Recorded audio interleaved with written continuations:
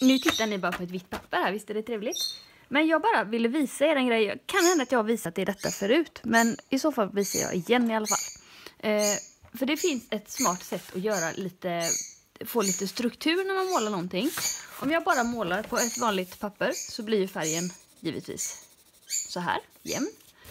Men om jag vill ha lite struktur på det jag målar Istället för att sitta och försöka måla struktur så kan man ju faktiskt ha lite uppfinningsrikedom. Det här är mitt underlägg till min, eh, min, min dator. Och det har jag alltid under när jag målar, fast med en bok på. Men vill jag ha lite struktur så kan jag faktiskt säga att jag ska måla. Vi kan ta lite olika sådana här färger. Om jag gör så här. Så får jag faktiskt lite mönster på det jag målar. Så kan man ta en annan färg och så flyttar man den lite.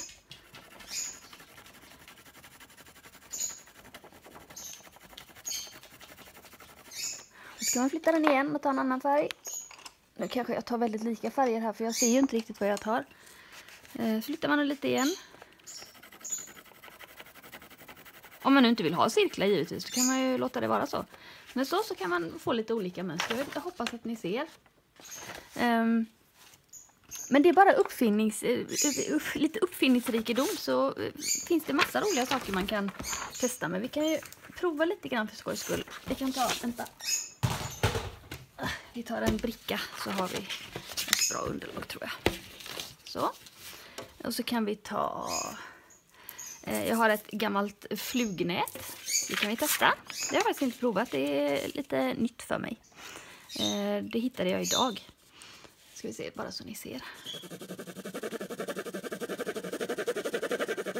Det blir ett rätt fräckt mönster utav det. Eller hur? Ser ni? Om jag gör så bara så fokusen hamnar rätt. Ja, jag hoppas att ni ser.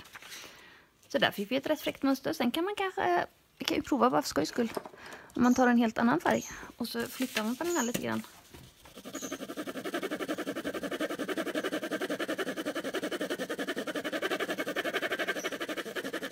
Ser ni? Så kan vi testa något annat för skojs skull.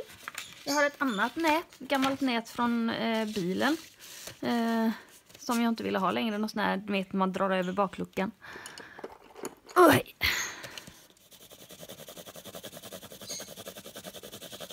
Om jag vill ha ett sådant mönster när jag målar. Nu har jag inte provat med tuschpennor. Det kanske funkar med tuschpennor, men jag har bara provat med eh, eh vad heter det? Eh, träpennor. Så. Eh, vi kan prova med, jag ska se, nu har jag de näten. Man kan ta Uh, oj, nu la jag bort pappret. Det skulle jag inte göra. Jag har en svintosvamp. Uh, oj. Den var för mjuk. Glöm det. Svintosvampar funkar inte. Den är för mjuk. Men nu har vi provat det. Jag har en... Uh, den här ska jag platta till. Det är en gammal sån här... vad heter det? Sån här som råttorna springer i. Den ska jag platta till och jämna ut. För den tror jag kan bli jättefint. Så nu vet jag inte hur det funkar för nu är den alldeles ojämn. Kolla, det blir ju kanasfint. kan man göra staket runt om man vill göra staket eller någonting. Så slipper man sitta och göra de här, alla de här. Eh, sen någonting jag har använt flera gånger, det är det här. Sånt som man har. Vänta, vi kan ta den först förresten. Smågrus.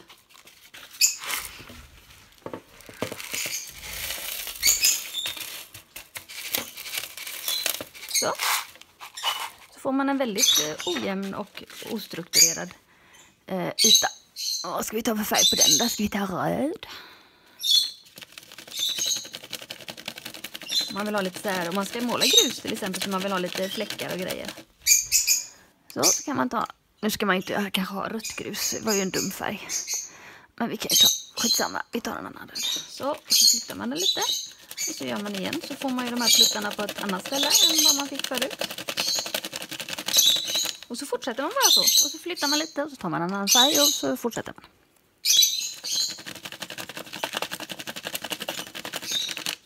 Ser ni?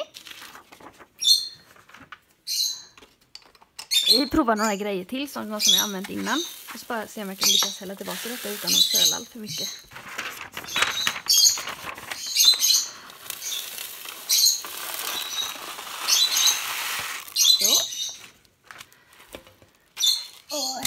Kan ta... Det här har jag också använt innan. Pärlsocker.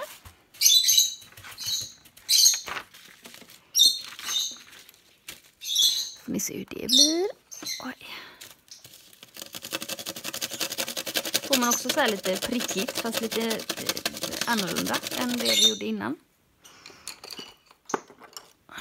Så flyttar man lite.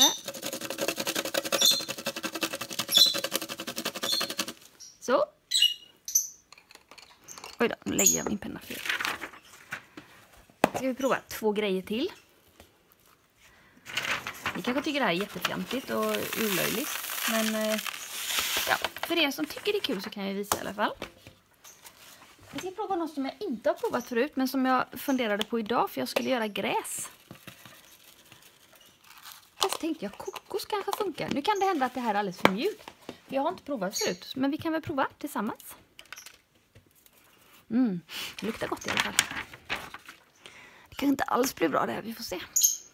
Sen kan man variera lite beroende på hur man lägger pennan. Om man trycker lite med spetsen eller om man håller lite eh, med den lite neråt. Nu skulle jag inte börjat med en mörker det var inte så smart. Ah, ja, skitsamma. Vi provar ju bara lite nu.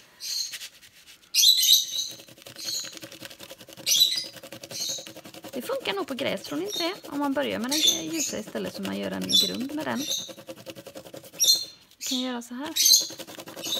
Vi gör en ordentlig grund med ljusgrön först. Ja, nu hade jag visst lite kokos där under, men så.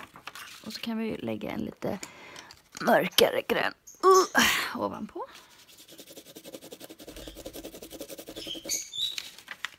Mojsa till det här lite så de ligger lite ojämnt.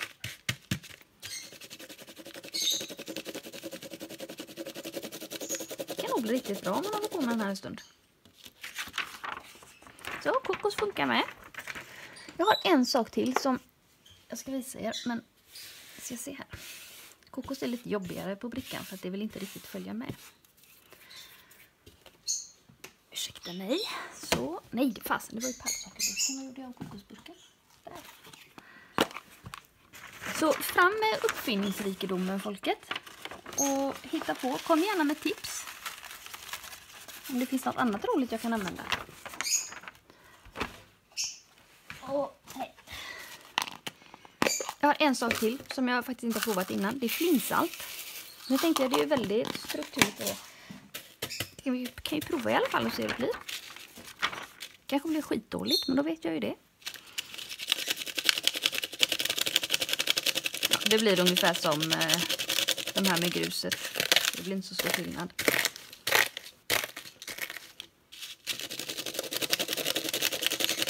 Ja, men det blir lite annorlunda struktur faktiskt.